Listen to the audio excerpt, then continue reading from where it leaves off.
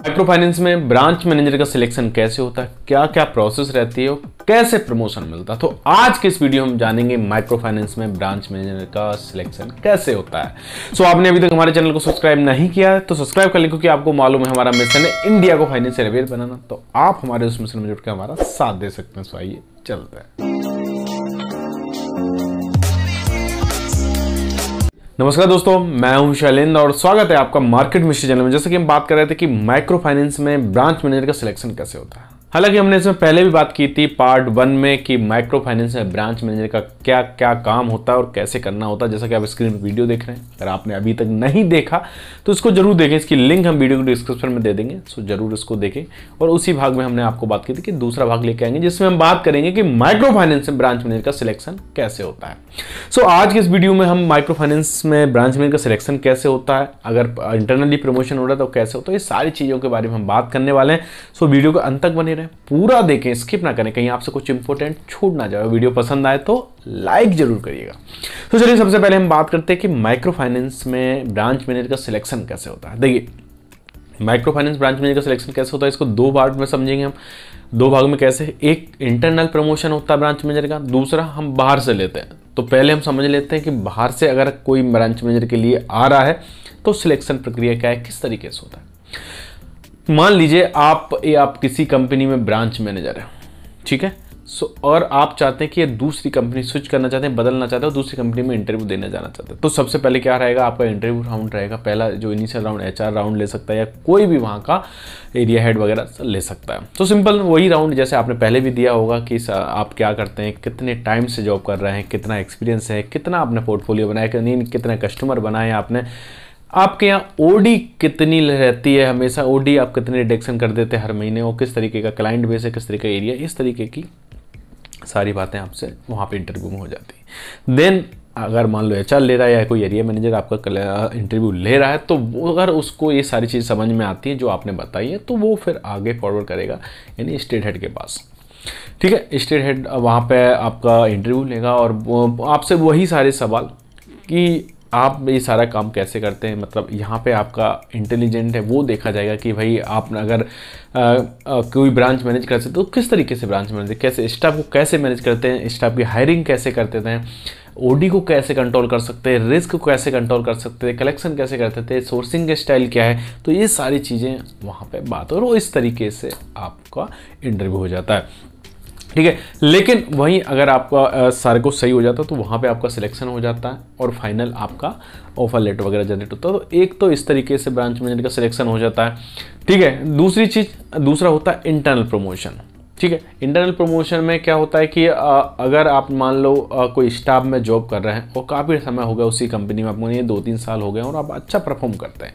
अच्छा काम करते हैं, हर महीने अच्छे क्लाइंट लाते हैं, आपका ओडी भी ज़ीरो रहता है, आपका कलेक्शन भी हंड्रेड परसेंट हो जाता है, इस तरीके की सारी चीज़ें और आपके साथ कोई भी कंप्लेन इशू नहीं है मतलब आपके साथ कोई भी, किसी भी तरीके का पैसे का लेन देन का इशू नहीं है, किसी भी तरीके का आपका फ़ील्ड का कोई व्यवहार का इशू नहीं तो इस तरीके से सारी चीज़ें अगर है रेटिंग अच्छी आपकी तो इस तरीके से आपको इंटरनल प्रमोट कर दिया जाता है एज ए ब्रांच मैनेजर वहाँ पे जब प्रमोट किया जाता तो आपने ऑलरेडी स्टाफ में काम किया होता। अब यहाँ पे आपको ब्रांच मैनेजर की पोजीशन पे आके ब्रांच मैनेजर का रोल निभाना होता है। यानी यहाँ पे अब आप स्टाफ के जैसे नहीं सोच सकते।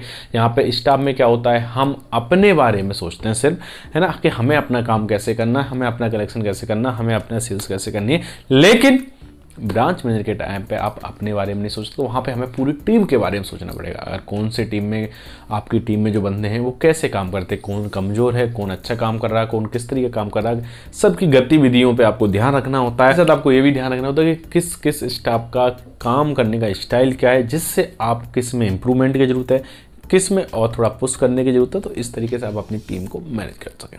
ठीक है? सो दो तरीके होते हैं आ, ब्रांच मैनेजर में सिलेक्शन के जिस तरीके से आप ब्रांच मैनेजर का जॉब ले सकते हैं वहीं अब तीसरा तरीका अभी ये भी है कि आप अगर ब्रांच जैसे हमने बाहर से बात की कि आप ब्रांच मैनेजर तो दूसरी कंपनी में जा सकते हैं ऐसे ही अगर आप स्टाफ पे हैं किसी कंपनी में आपको प्रमोशन नहीं मिला काफ़ी समय हो गया और काम अच्छा आप करते हैं तो ऐसे में आप किसी दूसरी माइक्रो फाइनेंस में जाके ब्रांच मैनेजर के लिए अप्लाई कर सकते हैं अगर आपका एक्सपीरियंस काफ़ी अच्छा है और आपके अंदर वो स्किल्स है जो भी एक ब्रांच मैनेजर के अंदर होना चाहिए और उस इंटरव्यू के टाइम पर सामने वाला यानी जो भी एरिया मैनेजर या एच या स्टेट कोई भी ले रहा है और उनको लगता है कि हाँ आप में पोटेंशियल है और आप टीम को मैनेज कर सकते हैं आप एरिया को मैनेज कर सकते हैं तब भी आपका ब्रांच मैनेजर के लिए सिलेक्शन हो सकता है। So, ये तो हुई ब्रांच मैनेजर की सिलेक्शन की बात लेकिन ब्रांच मैनेजर की सिलेक्शन होने तक ही सीमित नहीं। देखिए ब्रांच मैनेजर का रोल अपने आप में एक बहुत बड़ा रोल है कोई छोटा रोल नहीं क्योंकि यहाँ पे आपको बिज़नेस करने के साथ साथ, कलेक्शन करने के साथ, ये दो मेजर चीज़ें, ये तो करना ही इसके साथ साथ। आपको ब्रांच को मैनेज करना होता है आपको स्टाफ को मैनेज करना होता है आपको बाकी कंप्लाइंस हैं, वो मैनेज करने होते हैं, आपको बैंक से रिलेटेड कोई भी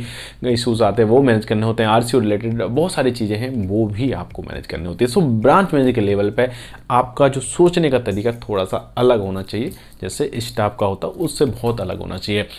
अगर आप स्टाफ से प्रमोशन हुए, जैसे हमने पहले बात करी है या फिर दूसरी कंपनी में आप किसी छोटे माइक्रो फाइनेंस में काम करते थे, वहाँ पर उतना ज़्यादा आपको चैलेंजेस नहीं थे और बड़ी माइक्रो फाइनेंस कंपनी में आप आ गए यहाँ पे चैलेंजेस तो आपको अपने माइंड को वैसा प्रिपेयर करना पड़ेगा। आपको ऐसा नहीं सोचना कि प्रेशर आ रहा है, बहुत टारगेट है, काम कैसे करें। कई बार जनरली मैं देखता हूँ, लोग घबरा जाते हैं, जल्दी फ्रस्ट्रेट हो जाते हैं कि टारगेट आते नहीं, आप एक ब्रांच में एक पोजीशन पर आप उस पोजीशन की रिस्पेक्ट करो। आपको मालूम है कि ये पोजीशन कोई आसान पोजीशन नहीं होती, यहाँ पे आपको काम करना होता और यहीं से आपको स्किल्स अच्छे से, यहाँ से लीडरशिप क्वालिटी आपको डेवलप होती है आपके अंदर, यहाँ से आपके अंदर स्किल्स डेवलप होती है टीम मैनेज करने के लिए। कई बार मैं देखता हूँ, बहुत सारे ब्रांच मैनेजर के अंदर बाइसनेस आ जाता है, यानी कोई भी दो एक स्टाफ को लेकर पक्षपात उनके अंदर आ जाता है कि भाई इन दोनों को लेकर साथ में चलना, बाकी लोगों को इग्नोर सा करते हैं। तो ये नहीं करना है। आपको एक ब्रांच मैनेजर आके आपको एक लीडरशिप क्वालिटी आपके अंदर आना चाहिए, जिससे आप आगे भी जा सके और आप लोग, क्योंकि देखिए, जब आप बड़े अहदे पर जाते जाते हैं तो लोग आपको रेफरेंस से जानते हैं कि भाई, वो बंदा, वो लड़का वहाँ पे अच्छे से काम करता है वो बंदा वहाँ पे अच्छे से काम करता है उसको अपनी कंपनी में तो वहाँ पे एक रेफरेंस चल रहा है। तो यहाँ पे बाइसनेस ना आए, इस चीज़ का भी थोड़ा ध्यान रखें। और साथ ही साथ, अपने सारी चीज़ों को बहुत अच्छे तरीके से के आर ए वगैरह आपको मेंटेन करके चलें, जिससे आपको आगे अच्छे ग्रोथ मिले और अच्छे से आप किसी भी, बड़ी कंपनी में जा सके ऑर्गेनाइजेशन में जा सके, वहाँ आपको एक अच्छी सैलरी आखिरी में हम इसमें बात करेंगे जैसे ब्रांच मैनेजर का आप किसी कंपनी में जाते हैं तो आप दो तीन साल ब्रांच मैनेजर की पोजीशन पे हो जाते हैं आपको अच्छा काम करते हुए और आप अच्छा परफॉर्मेंस देते हैं तो अब यहाँ पे आपकी एलिजिबिलिटी एरिया मैनेजर की बन जाती है और आप यहाँ पे एरिया मैनेजर के लिए अप्लाई कर सकते हैं। यहाँ पर तो इंटरनली भी प्रमोशन हो सकता है अच्छा प्रमोशन नहीं तो बाहर भी आप इसको एज अ इंटरव्यू दे के आप, आप इसको ले सकते हैं क्योंकि आपको परफॉर्मेंस इसलिए आपको अच्छा रखना इसलिए मैं बोल रहा हूँ, आपको जो आपको काम करने का तरीका है, जो आपको काम करने का स्टाइल है, उसको बहुत वाइड रखना है, जिससे क्या है कि आपको आगे चल के अच्छे से ग्रोथ मिल सके बाइसनेस कभी नहीं रखना है। हमेशा अपने काम पे करो, भरोसा रखना, अपना काम इतना ईमानदारी से, अपना काम इतना साफ़ सुथरा होना चाहिए कि कभी भी कोई भी पूछे, आपको हर चीज़ पता होना चाहिए कि ये ऐसा है, इसलिए ऐसा है, ये ऐसा है, इसलिए ऐसा है। तो इससे आपको आगे चले कभी भी प्रॉब्लम नहीं आएगी। और बाकी हमने पहले वाले भाग में बताया था कि काम क्या होता है ब्रांच मैनेजर का सो आपने अगर वो नहीं देखा तो उसको भी ज़रूर देखें, जिससे आपको समझे कि ब्रांच मैनेजर का काम क्या होता है और कैसे कोरिलेट करना है। सो ओवरऑल अगर हम बात करें तो ब्रांच मैनेजर का सिलेक्शन आपके परफॉर्मेंस आपके नॉलेज और आपके काम करने के स्टाइल पर होता है, सारा डिपेंड उसी पर करता है। तो हमेशा अच्छे से काम करें और सीखने पर ज़्यादा ध्यान दें। किसी के लोगों के साथ रह के और आ, किसी के बातों में आके कभी भी अपना करियर को ख़राब ना करें। कई बार देखने में आता है लोग तो अपने करियर को भूल के और कुछ चीज़ों में फंस जाते हैं। तो ये ना करें अगर आपको लॉन्ग टर्म में जॉब करनी है आप चाहते हैं कि आगे और काम करना तो इस तरीका ज़रूर ध्यान रखें। और आगे आप किस टॉपिक पे माइक्रो फाइनेंस में वीडियो चाहते हैं वो ज़रूर हमें कमेंट करके बताएँ। और आगे भी हम ऐसे ही आपसे माइक्रो फाइनेंस के बारे में बात करते रहेंगे इन्वेस्टमेंट के बारे में बात करेंगे सेविंग्स के बारे में बात करेंगे। सो so, उम्मीद करता हूँ आज की वीडियो आपको पसंद आया होगा अच्छा लगा होगा अच्छा लगा तो अपने दोस्तों परिजनों में शेयर करें। और उन लोगों को ज़रूर शेयर करें जो माइक्रो फाइनेंस में काम कर रहे हैं या करना चाहते हैं या ब्रांच मैनेजर का जॉब लेना चाहते हैं। इन्वेस्टमेंट और फाइनेंस की जानकारी के लिए हमारे चैनल को सब्सक्राइब करें। सो मिलते हैं नेक्स्ट वीडियो में। तब तक के लिए नमस्कार जय हिंद।